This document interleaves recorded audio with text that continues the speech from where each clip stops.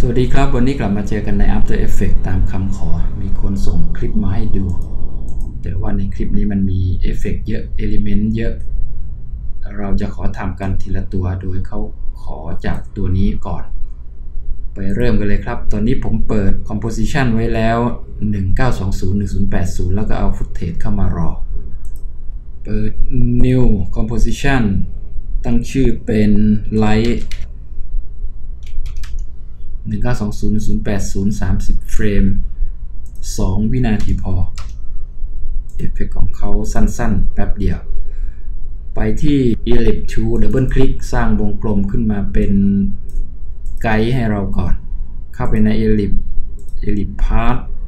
ปลดโซ่ออกแล้วก็ปรับขนาดของไซส์เป็น 500 คูณ 500 ล็อกโซ่กลับเข้าไปใหม่ พับ คลิกออกมา เปิด Title Safe แล้วก็เปิด grid ด้วย ซูมเข้าไปใกล้ๆ คลิกออกมาไม่เลือกที่ layer ใดแล้วไปที่ Pen Tool หรือกด G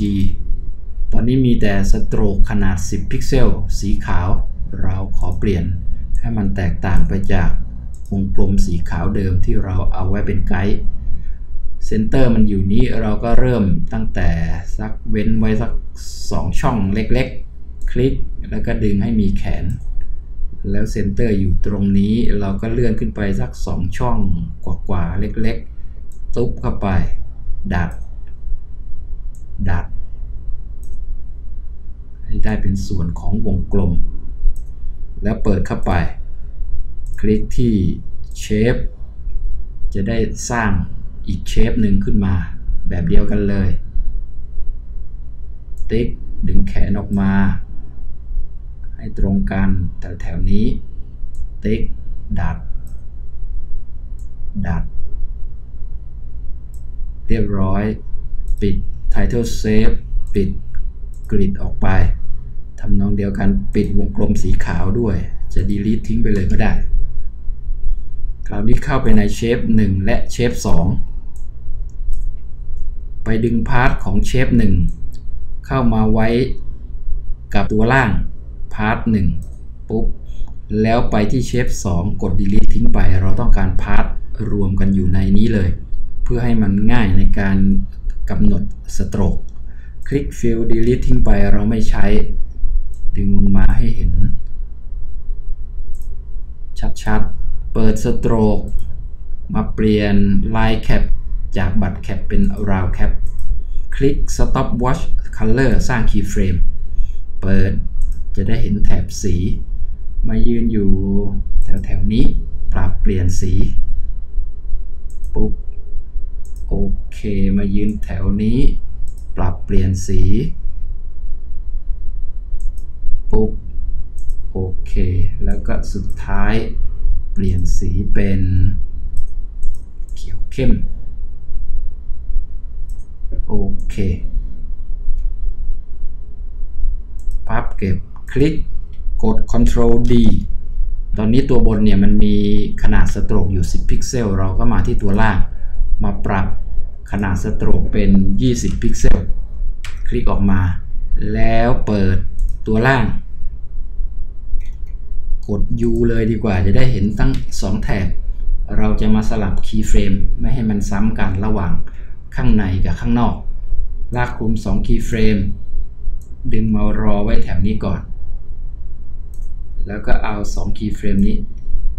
กด shift เลือก2 keyframe ดึงมาเสมอกันกับข้างหน้า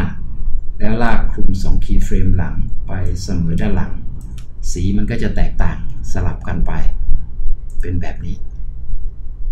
พับ เปิดใหม่พับเชฟ2พับเชฟ1แล้วมาแอดเข้าไป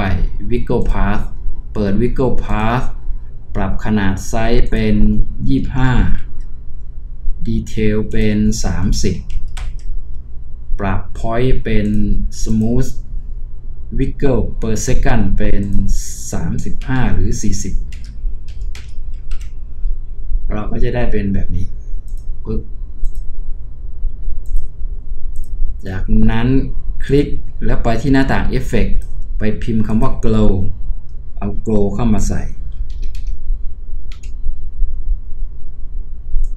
ใส่โกลเข้าไป แล้วก็ใส่โกลซ้ำเข้าไปอีกทีหนึ่ง2 ตัว แล้วมาปรับตัวที่ 2 มาปรับเป็น 30สำหรับ glow radius ก็จะได้ประมาณนี้ ลองดู ฟุบฟุบสลับสีสวยงาม จากนั้นเข้าไปข้างใน พับแล้วมาเปิด add สร้างกลุ่ม empty group หรือกลุ่มเปล่าๆ ดึงขึ้นไปไว้ข้างบน แล้วเลือก 3 ตัวนี้ shape 2 shape 1 แล้วก็ wiggle ใส่เข้าไปในกลุ่ม1คลิกที่กลุ่ม1 กด Control D แล้วเข้าไปในกลุ่ม1 transform กลุ่ม1แล้วมาปรับสเกลลดลง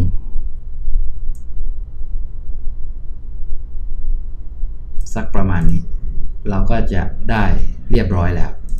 2 ตัวฟุบอันนี้กลับไปที่ composition footage และไปที่หน้าต่าง project panel ไปเอา light อ๋อ ผมตั้งชื่อผิด ปรับเปลี่ยนเป็น แล้วก็เอา composition light ลงมา วางไว้ข้างบนทำแอนิเมชันกัน กด S มายืนอยู่แถวเฟรมที่ 3 คลิก stop watch scale แล้วลองเช็คด้วย ตอนนี้เราเอามาใส่ให้กับผู้ชายคนกลาง ปรับลดลงหน่อยก็ได้ แล้วลองดู สักประมาณนี้ กด Shift P Shift R เปิด Position แล้วก็ Rotation เข้ามาด้วย คลิก Stop Watch สร้าง Keyframe Position ด้วย Rotation ด้วย แล้วปรับ Rotation หมุนเอียงตามผู้ชาย เลื่อนมาจุดเริ่มต้น มาปรับสเกลเป็น0ฟุก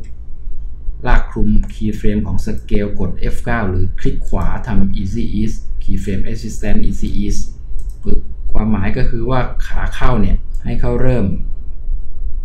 สเกลเข้ามาจาก0โผล่ขึ้นมาฟุบแล้วหลังจากนั้นเราก็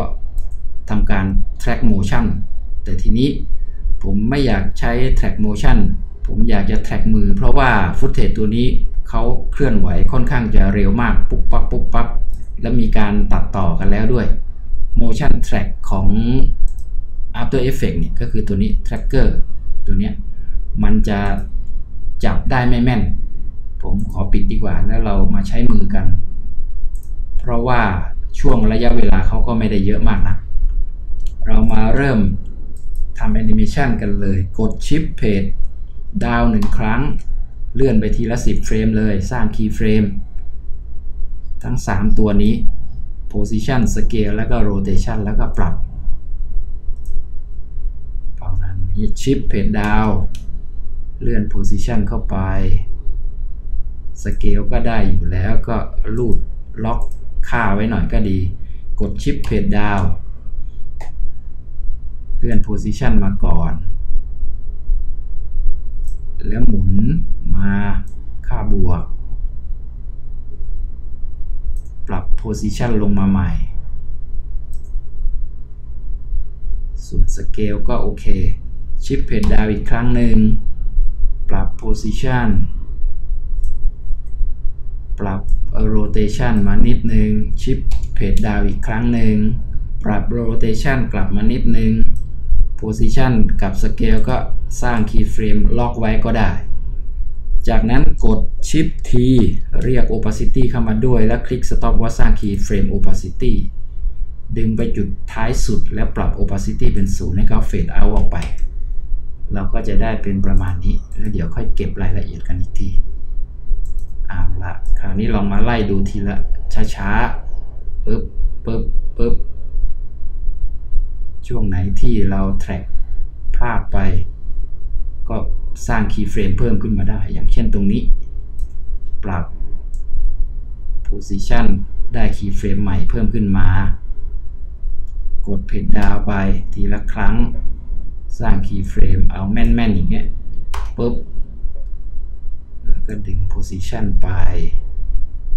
rotation นิดหน่อยเพดดาวปรับ position คีย์เฟรมก็จะเพิ่มขึ้นมาสเกลก็น่าจะได้อยู่ไม่ต้องลดเพจดาวไปอีก 2 ครั้งเลย position เลื่อนกลับเข้ามาเพจดาว เพจดาวแล้วก็ rotation เยอะๆ position ด้วยนิดนึง ก็น่าจะเรียบร้อยแล้ว มีแค่ช่วงที่เขาเคลื่อนที่เคลื่อนศีรษะเร็วนิดนึง เราก็จะได้เป็นแบบเดียวกับของเขาเลยเนี่ยตรงนี้ฟุบก็เรียบร้อยไป1เอฟเฟกทีนี้สำหรับตัวนี้เนี่ย อดีว่าคนถามเขาเหมือนจะไม่ค่อยถนัด After Effects สักเท่าไหร่เขาอยากเอาไปทำใน Premiere Pro ซึ่งจริงๆแล้วผมก็เคยแนะนำไปบ้างแล้วเรื่องการเอาไปใช้ใน Premiere Pro หรือถ้าจะง่ายเราทำวิธีเดียวกันเลยทั้งใน After Effects และ Premiere Pro คือทำแบบเนี้ยแทร็กมือเอา แต่ต้องเอา Element ตัวนี้ไปใช้ ผมจะแนะนำการนำ Element ไปใช้ ซึ่งมันก็มีหลายวิธีจะทำเป็น Essential Graphic Template ก็คือจะทำเป็น Template ก็ได้ ซึ่งเคยแนะนำไปหลายคลิปแล้ว ส่วนคราวนี้ผมจะแนะนำว่าเราเรนเดอร์ออกไปเลย ให้เป็นแบบไม่มีพื้นหลัง วันนี้เราจะมาทำการ render กัน เริ่มจากเข้ามาที่ footage ตัวนี้นะครับ ที่จะเตรียมที่จะเอาไปใช้ แล้วก็ไปที่ composition add to render queue เข้ามาตั้งค่าตรง output module มาปรับ format เป็น QuickTime แล้ว format format option ตั้งค่าเป็น animation นะครับ ซึ่งมันมีหลากหลายเราจะต้องมาตั้งที่ animation โอเค พอเราเซตเป็น animation แล้วเนี่ยไอ้ตรง video output เนี่ยเราสามารถเลือกเป็น RGB บวก alpha ได้นะครับมันก็จะไม่ติดพื้นหลังไปสีดำๆเนี่ยมันจะมีแต่เอฟเฟกของเราไป แล้วก็มาปรับ audio output เป็น off เราไม่ต้องใส่เสียง คลิกโอเคจากนั้นมาคลิกที่ output to ก็คือจะเก็บไว้ที่ตรงไหน ผมขอเก็บไว้ตรงของผม ก็จะตั้งชื่อเป็นอะไรก็ตั้งชื่อไป คลิก save แล้วก็คลิก render เลย พอเรียบร้อยแล้ว เราลองกลับมาใช้ใน After Effects ดู ซึ่งจริง ๆ แล้วเอาไปใช้ใน